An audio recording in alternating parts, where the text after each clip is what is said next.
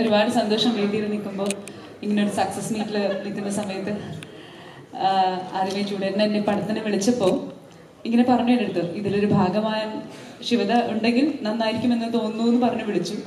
അപ്പോൾ വിളിച്ച സമയത്ത് ഞാനിങ്ങനെ ഓക്കെ പറഞ്ഞു. അത് കഴിഞ്ഞ് ഷൂട്ട് കഴിഞ്ഞു.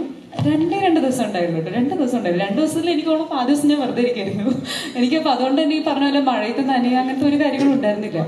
അപ്പൊ ഞാനിങ്ങനെ ഫ്രണ്ട്സിനോട് ഇങ്ങനെ പറഞ്ഞു ഞാൻ പറഞ്ഞു ഇങ്ങനെ കെസ്ട്രോൾ ചെയ്യുന്നുണ്ട് ടൂ തൗസൻഡ് എയ്റ്റീനിൽ അപ്പൊ അന്ന് എന്റെ ചോദിച്ചു കെസ്ട്രോൾ ചെയ്യണോ? എന്തിനാ ശിവത ഹീറോയിനായിട്ട് ചെയ്തോണ്ടിരിക്കില്ല? അപ്പൊ ഞാൻ പറഞ്ഞു ഇല്ല.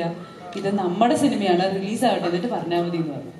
ഇതേ ആൾക്കാര് റിലീസ് കഴിഞ്ഞിട്ട് ഈ പടം മൂന്ന് നാല് പ്രാവശ്യം കണ്ടു. എന്നിട്ട് ഓരോ പ്രാവശ്യം കാണുമ്പോഴും എന്നെ വിളിച്ചു പറയും ഭയങ്കര രസമായിട്ടോ നീ അതിനകത്തൊരു ചെറിയ ഭാഗമായാലും ഞങ്ങൾക്ക് ഭയങ്കര സന്തോഷം തന്നെ വിളിച്ചു പറഞ്ഞു.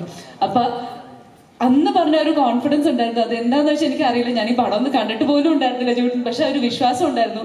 ഈ ഒരു ടീമിന്റെ മേത്തുള്ള ഒരു വിശ്വാസം ഉണ്ടായിരുന്നു. നമ്മുടെ ഈ പടത്തിന്റെ മേത്തൊരു വിശ്വാസം ഉണ്ടായിരുന്നു. അത് പ്രാവർത്തികമായി വന്നപ്പോൾ ഒരുപാട് സന്തോഷം തോന്നുന്നു. അതിലുപരി ഇപ്പൊ ഇവിടെ ഈ വേദിയിൽ ഈ സക്സസ് സെലിബ്രേഷൻ ഈ ട്രോഫി ഇങ്ങനെ മേടിച്ച് നിൽക്കുമ്പോൾ അതിലേറെ സന്തോഷം തോന്നുന്നു. താങ്ക് യു എന്ന് മാത്രമേ പറയാനുള്ളൂ. താങ്ക് യു സോ മച്ച് അടുത്ത പടങ്ങൾ ചെയ്യുമ്പോൾ ഇതുപോലെ ഓർക്കാം താങ്ക് യു സോ മച്ച് ഒരുവൻ താങ്ക് യു ഇത് നമ്മുടെ ഒരു നമ്മുടെ ഒരു സക്സസ് ആണ്. അപ്പോൾ thank you so much thank you Shivada thank you so much I mean,